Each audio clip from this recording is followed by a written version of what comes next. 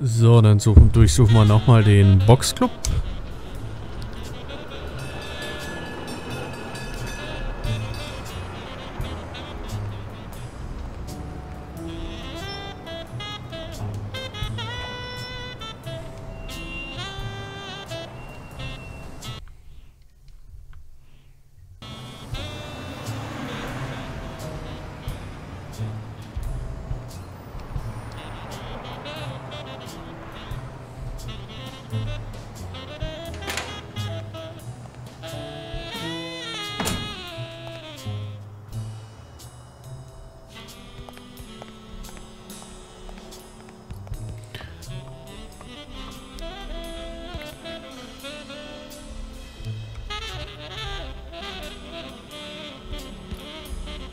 So, wir gucken uns nochmal alle Sprüche an.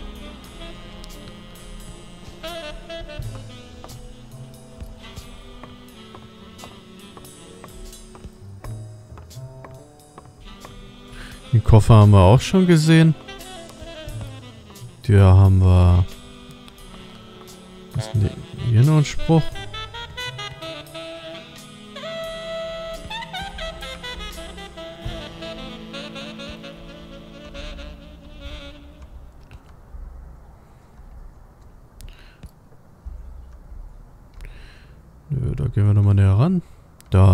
Wir auch nichts.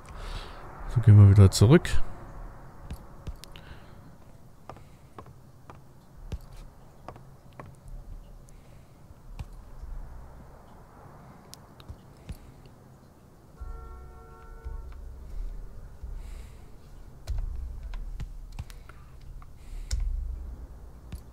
Ohne Fleiß kein Preis.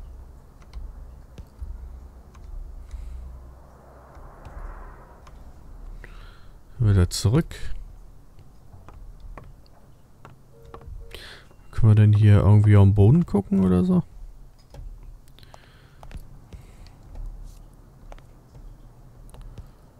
Nö.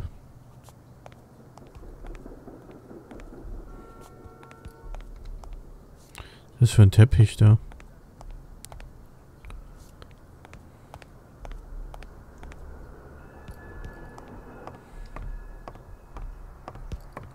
Wir haben jetzt eigentlich mit allen Protagonisten gesprochen.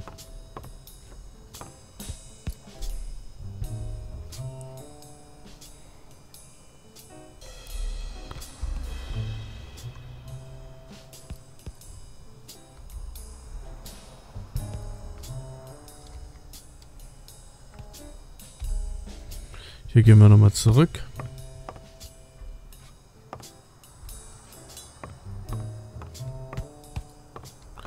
Hier an der Tafel. So, hier oben gibt es einen Spruch.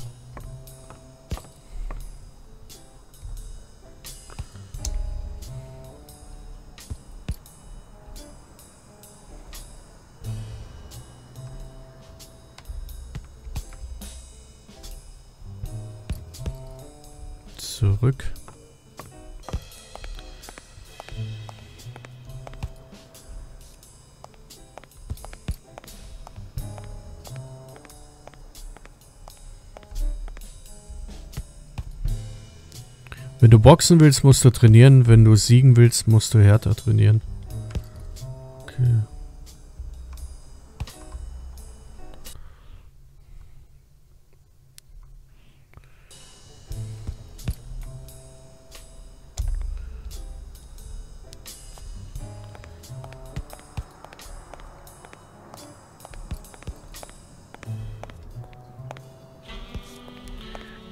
Hier ist eine kleine Leiter. Können wir da hochklettern?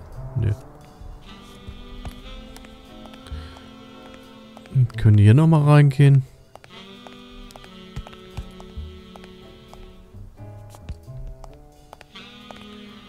Hier sind Gott sei Dank auch die Hinweise weg. Das heißt, wir wissen, hier ist nichts mehr.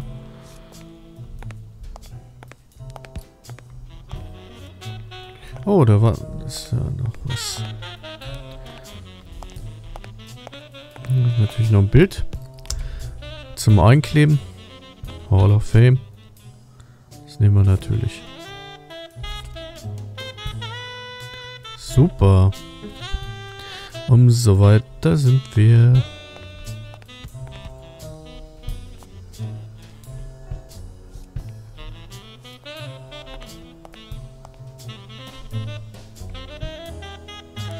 Jetzt machen wir den Spind nochmal auf.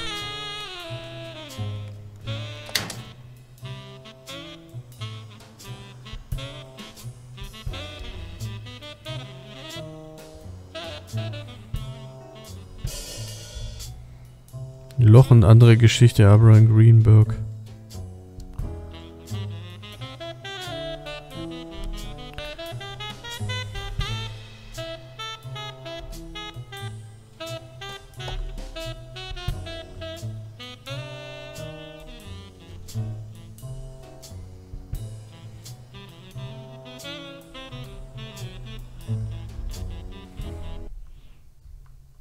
Na, so nicht.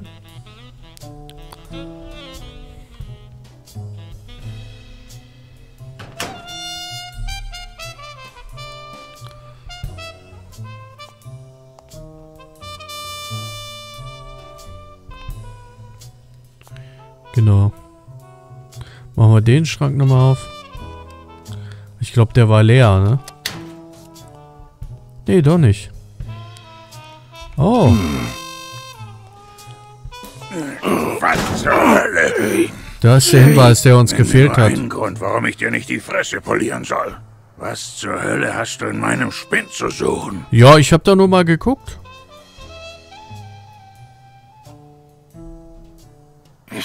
Detektiv. Ist nun mal mein Job. Ja, und mein Freund. Zumindest dachte ich das mal. Loslassen.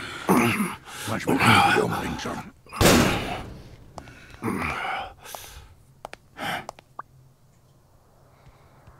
Hm. Ah. Ein, jetzt können wir wieder kombinieren. Dann strengen wir mal unser Hirn an.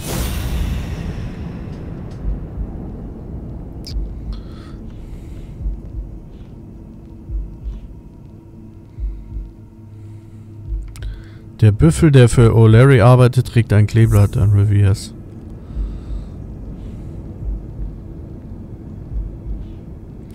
Jake, der nicht beim Durchsuchen des Spins ertappt hat.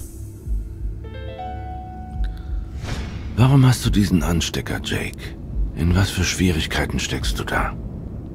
Das würde mich auch mal interessieren.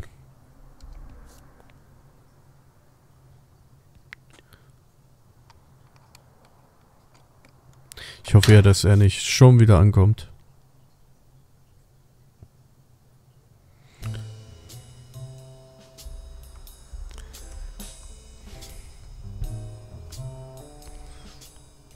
Für meine Lieblingswächter. Mist. Ich hatte ganz vergessen, dass Jake mal für Natalia gearbeitet hat. Das beweist, dass ich recht hatte. Es ist noch zu früh, um einfach weiterzumachen.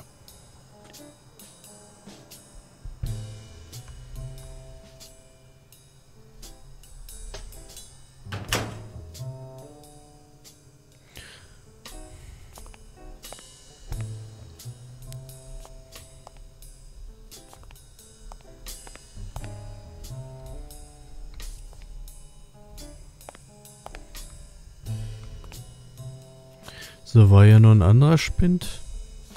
Das ist nur der hier. Das ist ja der unten der mit den blutigen Handtuch, ne?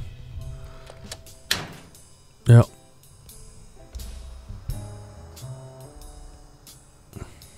Da können wir auch zurück.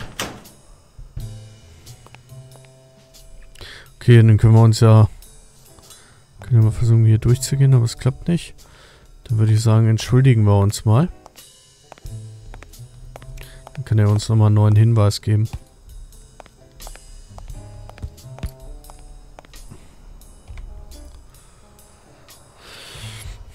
Na gut, Jake. Ich hab dir gesagt, Desmond O'Leary. Hä? Ich weiß, dass du für den arbeitest. das denkst du dir doch aus. Warum sagst du denn sowas?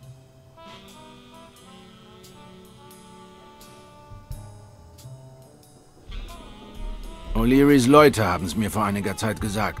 Gut, gut. Sagen wir mal, du hast recht. Und jetzt? Was hast du jetzt vor, hä?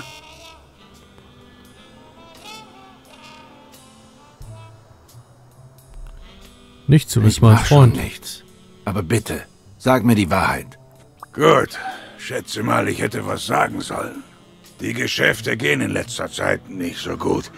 Natalia war mein letzter gut bezahlter Job und die Sache ist schon eine Weile her.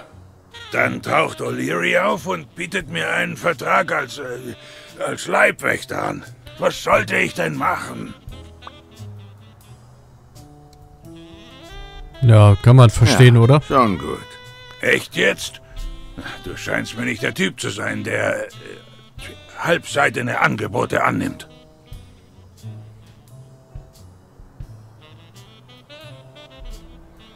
Ich habe auch solche Sachen gemacht. Und noch Schlimmeres.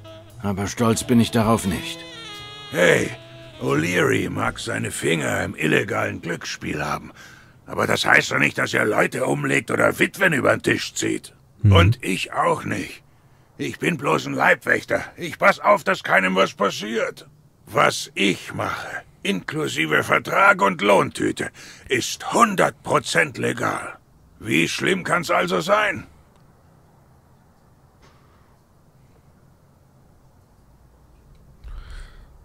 O'Leary bezahlt dich mit schmutzigem Geld und du bist Teil einer kriminellen Organisation.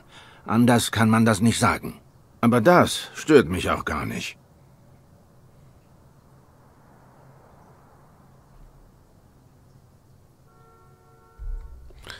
So langsam glaube ich, dass auch du was mit Duns Tod zu tun hast. Wer? Ich? Komm schon, John. Warum lügst du dann? Tja, schätze mal, es bringt nichts, das weiter zu verheimlichen. Ich war hier an dem Tag, an dem Don starb. Nur weiter? Ich musste geschäftlich was für O'Leary erledigen. Ich soll das Kleeblatt tragen, wenn ich für ihn im Dienst bin. Wie du weißt, habe ich das Scheißding in meinem Spind gelassen. Lass mich raten. Du bist durch den Hintereingang reingekommen. Wie hast du... Ja, genau so war's. Joe hatte erwähnt, dass er an jenem Nachmittag malen wollte, aber ich hatte das vergessen. Auf jeden Fall lenkt da noch kein Strick, sehe ich gerade. Ich bin regelrecht erstarrt, als ich ihn gesehen habe, wie er da, wie von Sinn, oben auf dem Gerüst, Bobby Yale angeschrien hat.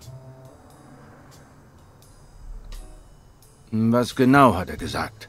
Äh, sowas wie, äh, wenn du das machst, sage ich den Kampf ab und sorge dafür, dass du nie wieder auch nur einen Fuß in diesen Club setzt.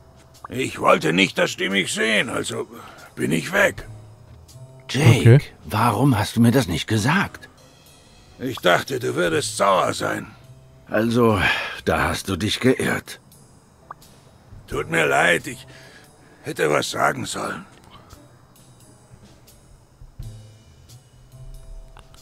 Keine Sorge, wir machen alle mal Fehler. Zeit zu gehen. Ich muss über alles nachdenken, was du mir erzählt hast. Danke, John. Ja, du bist auf jeden Fall schon mal ein bisschen mehr und das ist doch super. Sind wir doch vor, vorangekommen. Ist die Frage, können wir da noch irgendwas kombinieren, so köpfchenmäßig?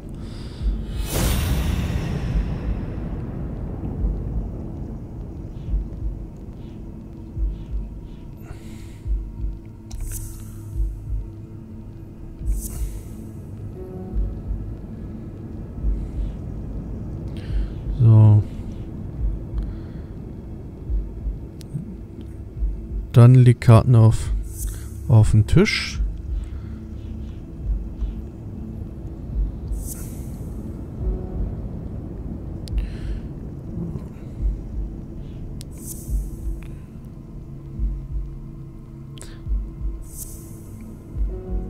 Nö, das passt nicht.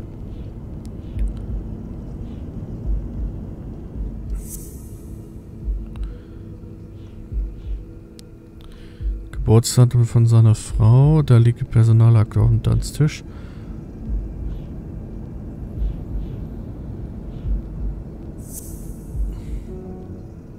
Nö. Aber ich glaube, wir kommen ja auch erstmal so nicht weiter. Wir gehen erstmal raus. So, ist jetzt die Frage. Wir gehen nochmal nach oben. Reden mit der Dame da oben. Und dann gehen wir nochmal raus. Ähm, wenn wir bei ihr nicht weiterkommen. Ich glaube, soweit haben wir hier erstmal alles abgesucht. Ich, aber...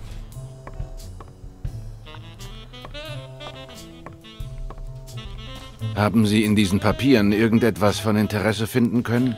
Nein, Ermittlungen brauchen ihre Zeit, wie Sie ja sicher wissen. Genau. Okay, dann würde ich sagen, wir gehen erstmal raus. War da noch eine Tür oder habe ich was übersehen?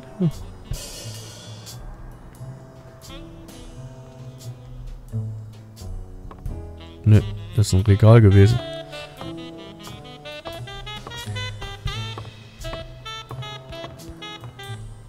Genau, so, wir gehen raus.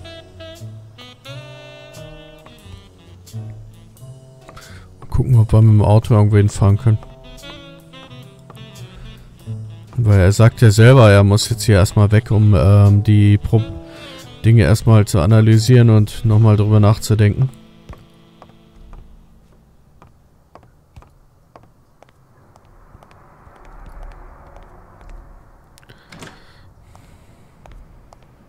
Sei unser verrückter Freund wieder wach? Ne, der schläft immer noch. Wollen wir ihn auch mal schlafen lassen.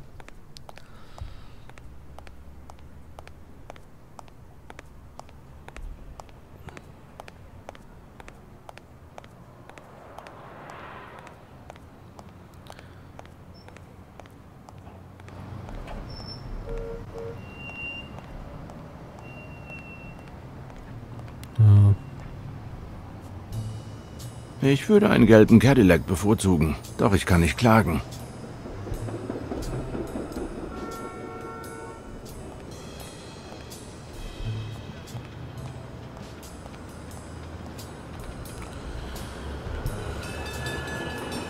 So, dann, okay, wir kommen mit dem Auto da nicht weg. Finde ich auch interessant.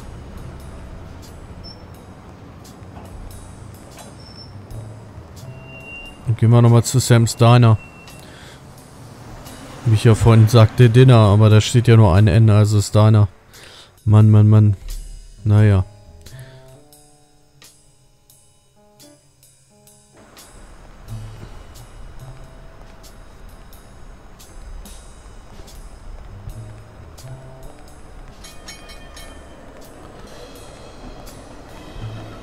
Ich glaube, wenn wir der Dame hier im Danas Club das nochmal erzählt, dann könnte es passieren, dass sie vielleicht doch nochmal ein bisschen mehr sagt. Hi, Mr. Blacksad.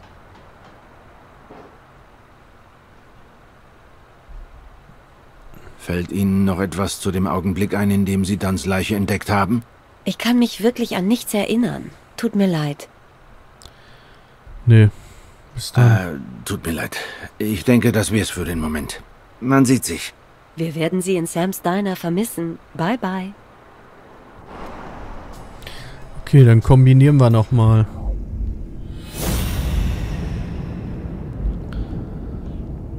Irgendwas stimmt an Duns Selbstmord nicht.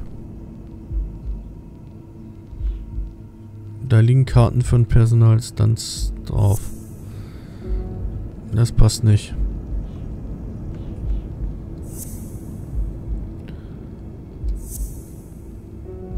Passt auch nicht. Dann fangen wir doch mal so an.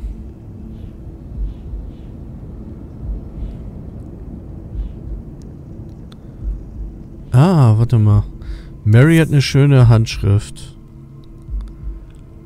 Dann hatten wir Mary nennt dann Joey. So. Da könnte man sagen, da liegen Pers da liegen Karten mit Personaldaten am Tisch.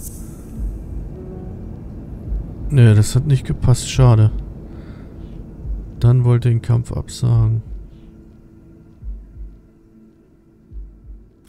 Überlegen wir nochmal.